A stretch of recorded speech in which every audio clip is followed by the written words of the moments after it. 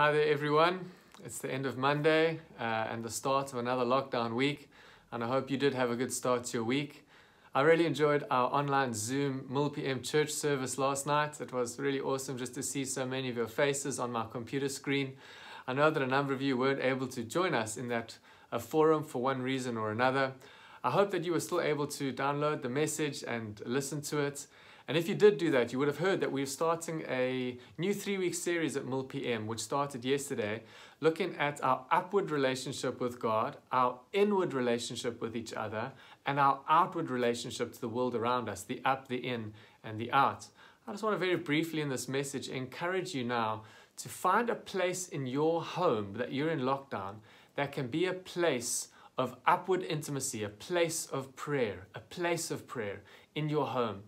In Mark chapter 1, verse 35, it describes to us something about the life of Jesus' uh, prayer life. And it says that while it was still dark, Jesus got up early in the morning, went off to a desolate place, and prayed. Now, obviously, we can't leave our homes, and I enjoy going up to Newlands Forest to find a, a quiet place and a desolate place and a beautiful place to pray and connect with the Holy Spirit. But right now, we can't do that. But we can find somewhere in our home and make that a place of prayer. In fact, I'm sitting on a couch here in our lounge, which for me and Lauren is one of the places that we use for quiet reflection and connecting with God. Our home is a beautiful home and it's a real blessing. But like many homes in Cape Town, it's quite a compact home. And right now, just to record this message, Lauren and the kids are, are locked away upstairs in one of the rooms. If Lauren was cooking right now, you'd be hearing all the pots and pans going. If the kids were playing board games, you'd be hearing them.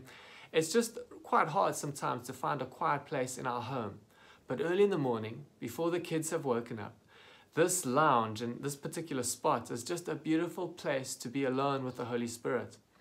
And I've actually prayed a number of prayers over the years in this very spot and seen wonderful breakthrough. Right now, I'm praying for many of you in this very spot.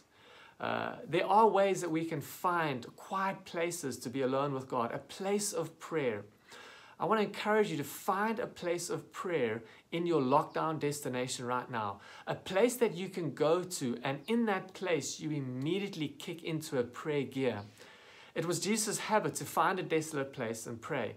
And I want to encourage you to try find a desolate place in your lockdown space right now, a place that you can make your prayer zone.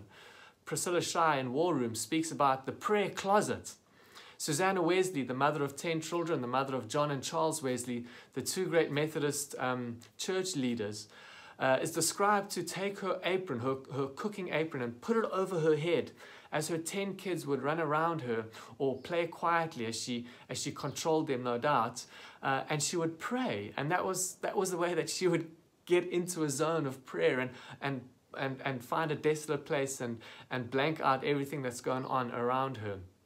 I know some of you are in quiet homes at the moment, and so your home is very quiet at the moment.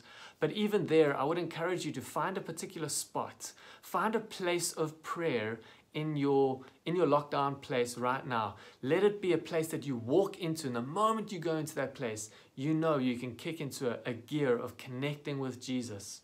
I think it's really helpful to have a place of prayer. And i encourage you to connect with jesus. And one of the things that can help you do that is finding a place of prayer.